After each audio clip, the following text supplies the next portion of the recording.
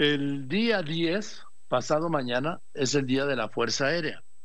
La Fuerza Aérea fue un decreto del presidente Carranza que firmó el 5 de febrero, ¿sí? El 5 de febrero, pero el aniversario de la fundación es formalmente el 10 de febrero. Ricardo General Vallejo, me da mucho gusto saludarlo otra vez. ¿Cómo está usted? Buenas tardes. Hola, buenas tardes. Qué gusto, señor don Joaquín. Gusto saludarlo a usted, a su equipo de trabajo y a su respetable público. Estamos a la orden desde Santa Lucía. Gracias. A ver, el día 10, aniversario de la Fuerza Aérea, 104 años, ¿no? 106, 106 años.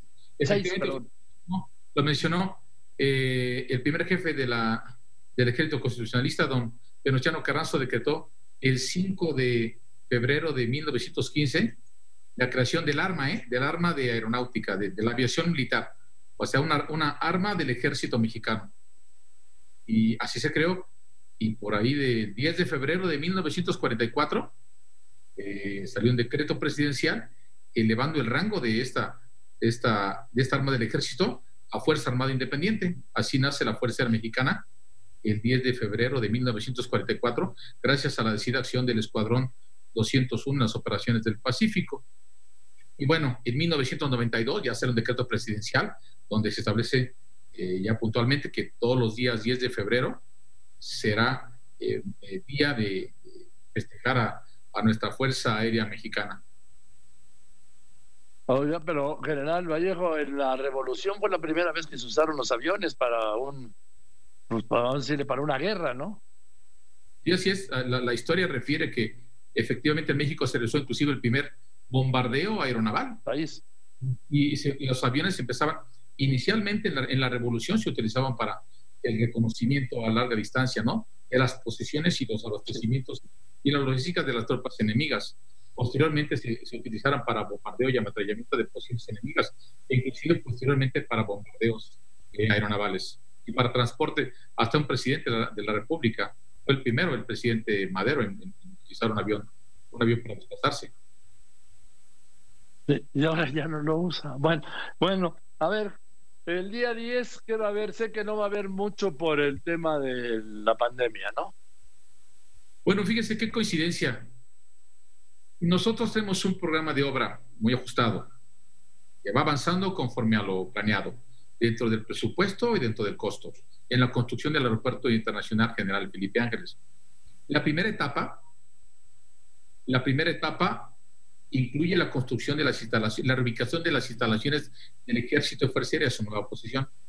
En este mes, en este mes precisamente, en marzo, iniciamos la segunda gran etapa del proyecto. Imagínense, tenemos 24 frentes de trabajo abiertos. Vamos a llegar a 48 frentes de trabajo a partir del primero de marzo. ¿Pero por qué primero de marzo? Porque es la fecha en que ya habremos concluido en su nueva ubicación las nuevas instalaciones de la Fuerza Aérea Mexicana la Fuerza Aérea Mexicana se pasa a su actual ubicación y coincide afortunadamente con el aniversario 106 de, la creación de esta Fuerza eh, Armada. Esa es una fecha icónica y muy representativa para que la Fuerza Aérea Mexicana regrese a Santa Lucía, a sus instalaciones, las ocupe y tenga nuevas instalaciones por un horizonte de más de 50 años. Es una gran oportunidad y a nosotros nos permite iniciar la segunda fase. ¿Y qué refiero a la segunda fase? Pues construir la otra parte del aeropuerto, eh, las instalaciones de carga aérea internacional, las bases de mantenimiento, eh, los talleres de mantenimiento terrestre, los centros logísticos, la carga doméstica, eh, la, aviación, la aviación ejecutiva y aviación general. Todo eso se va a construir en un lugar donde actualmente se encuentran los antiguos escuadrones de la Fuerza Aérea. Una vez que la Fuerza Aérea se pase a su nueva ubicación, procederemos a dar inicio a la segunda etapa de, este, de esta mega obra. O sea, General Vallejo, primero, estoy hablando con el general Ricardo Vallejo, responsable de la construcción del aeropuerto Felipe Ángeles. Primero, ya, crea, ya construyeron una nueva base aérea. Así es. Bueno, hemos trabajado en los frentes, ¿eh? en los tres, o sea, reubicar las instalaciones militares, construir el aeropuerto, sus plataformas, pistas y calles de rodaje con su terminal de pasajeros, su torre de control y su granja de combustible. Y en, la interconexión del aeropuerto, con los principales este, eh, núcleos viales. El que estamos por acabar ya es la reubicación de las instalaciones militares. Es lo que nos ocupa para poder desplazar los antiguos, este, las instalaciones de los antiguos escuadrones a sus nuevas posiciones. Entonces, donde estaba antes la, la parte de central, la base de operaciones de la Fuerza Aérea, en esta base de Santa Lucía, eh, ahí es donde va a estar el cuerpo, el edificio, vamos a llamarle así, del nuevo aeropuerto. No, digamos la zona de servicios de apoyo al aeropuerto, la carga internacional, la carga doméstica, eh, las bases de mantenimiento, las bases de las bases de los, los centros de, convenciones, el área de combustibles, los depósitos de agua, las subestaciones eléctricas. La parte de pasajeros sí se pudo iniciar el 17 de octubre del año pasado, porque la terminal de pasajeros queda dentro del campo militar en un predio donde no había ninguna edificación. Igual sucede con la torre de control y sucede con combustibles.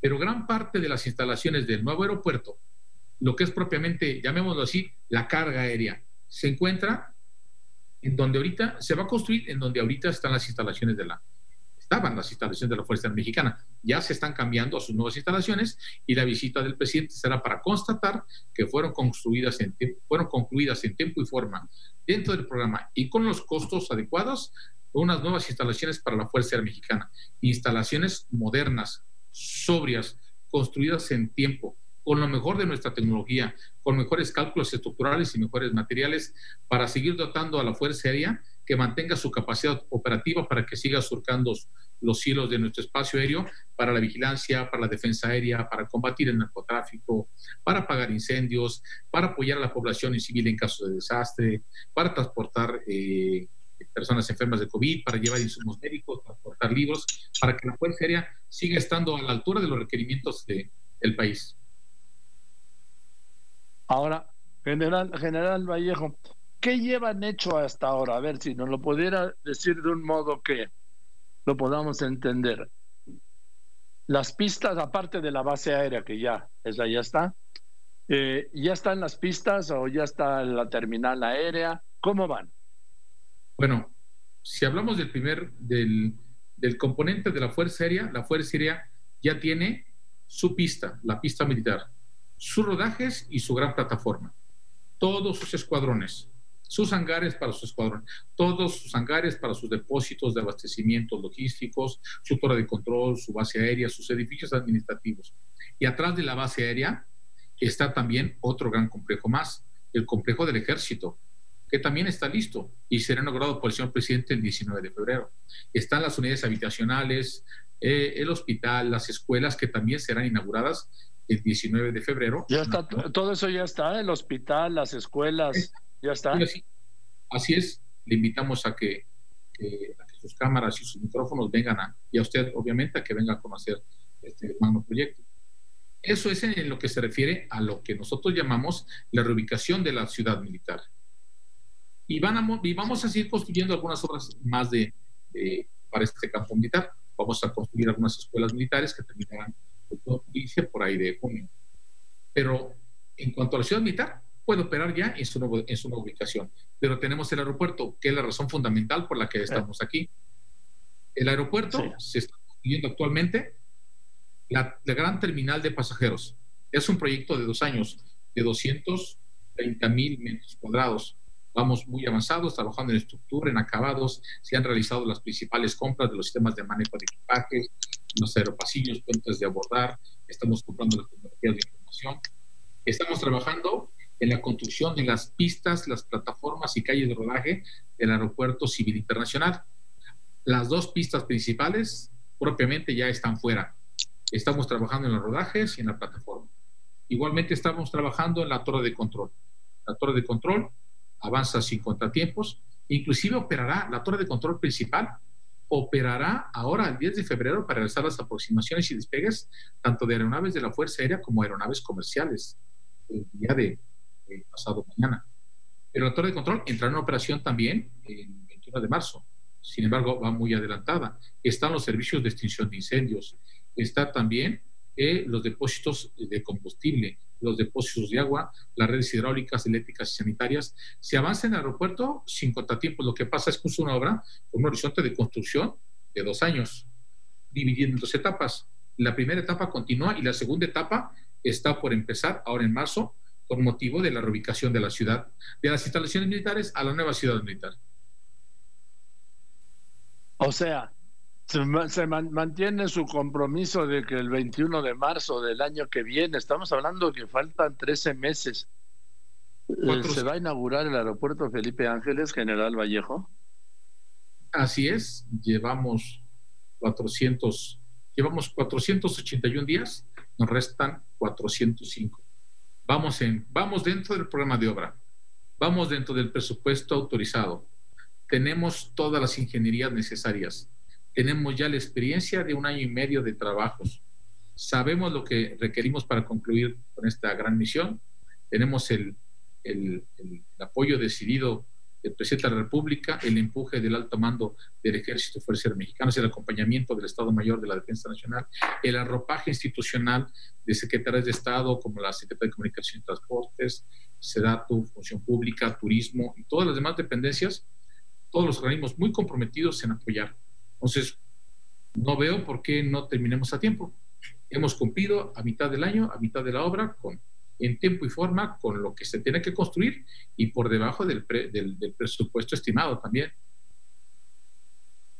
Es que a mí me sorprende que puedan construir un aeropuerto de estas dimensiones y hacer sobre todo el cambio de una base naval completa, incluyendo unidades habitacionales, hospitales, escuelas, centros comerciales, eh, vías, luz, todo, en, dos años, general. Pues más bien en un año. En un año estamos ubicando, reubicando una ciudad militar con un estimado de 500 mil metros cuadrados a sus nuevas instalaciones. Y, y, el esfuerzo no fue solamente reubicarlo, sino rediseñarlo totalmente, o sea, rediseñar cada vivienda, cada cuartel, cada instalación, cada metro cuadrado, buscar nuevos materiales eh, más económicos, más funcionales, más ecológicos, eh, hacer un rediseño total. Pero sí se puede, tan es que ya lo logramos. El 50% del esfuerzo está concluido en tiempo y forma. Dotaremos a la Fuerza Aérea Mexicana de las instalaciones, de las mejores instalaciones en toda América Latina. Sin duda alguna, será una base aérea de primer orden, a la altura de nuestra Fuerza Aérea Mexicana y de las múltiples misiones que tiene que desarrollar también las instalaciones del ejército. Ah. atrás. Pues, general Vallejo, ¿cuánta gente tiene trabajando ahí al día? Me, adivinó el pensamiento. ¿Cómo logramos eso en tan poco tiempo? Porque hoy tenemos una fuerza laboral de 1.272 efectivos militares trabajando permanentemente a las 24 ¿Cuántos? ¿Cuántos? 1.272 efectivos militares y 38.172 efectivos civiles contabilizados al día de hoy. trabajando. ¿Trabajan los tres turnos? Así es. Y trabajamos sábados y domingos, ininterrumpidamente. Contamos con el apoyo de todas las dependencias para toda la asesoría técnica necesaria y hemos hecho un gran compromiso con las empresas productoras nacionales de proporcionar los materiales y los insumos a tiempo. Ha sido una verdadera logística de transporte traer materiales nuevos desde, desde nuestro dilatado país, traer materiales de Texcoco por vehículo, automotor, por ferrocarril, en, toda condición y todo clima. Eso nos ha permitido hoy poder decirle al pueblo de México que la primera parte de, de la misión está prácticamente concluida y será observada por, por el presidente de la República y por la sociedad este 10 de febrero y el 19 de febrero. Bien, general, pues le aprecio mucho y pues ahí le seguimos midiendo, ¿no? La obra, porque esa sí es una misión imposible. ¿Se acuerda que yo le dije que me mostré escéptico la primera vez que hablamos sobre la fecha del cumplimiento? Y pues para como veo que van, igual se cumplen para el 21 de marzo. No vemos por qué no. Le pedimos a la gente que nos tenga confianza, que confíe en nosotros. Realmente el, mayor motor para, para nosotros es que el ánimo, el coraje y la fortaleza del ejército mexicano se nutre precisamente de la confianza de los mexicanos en sus Fuerzas Armadas, en sus soldados. Lo único que pedimos a la gente es que nos tenga confianza, que esté convencida de que estamos haciendo lo correcto y que estamos cuidando cada peso del, gobierno de la República, que al final es dinero de, de todos los mexicanos. Creemos que lo estamos haciendo bien, las cosas parece que marchan bien, así debemos de seguir, no le podemos fallar al pueblo de México. La misión que tenemos es entregarles un aeropuerto moderno y funcional que le permita a las aerolíneas operar aquí a más destinos que, se, que tengan TUAS, tarifas únicas de aeropuerto, más bajas que se reflejen en las tarifas a los pasajeros, que a su vez estos pasajeros pueden viajar más y más lejos a mejores precios y que se democratice la aviación, que no llegue solamente a los que tienen mayor este, capacidad económica. Cuando logremos eso, pues entonces sí, habremos cumplido completamente la misión. Pues gracias, general, le aprecio mucho y felicidades por este aniversario adelantadas del miércoles para la Fuerza Aérea y para todos los efectivos de la Fuerza Aérea. Le mando un abrazo. Muchas gracias, buenas tardes.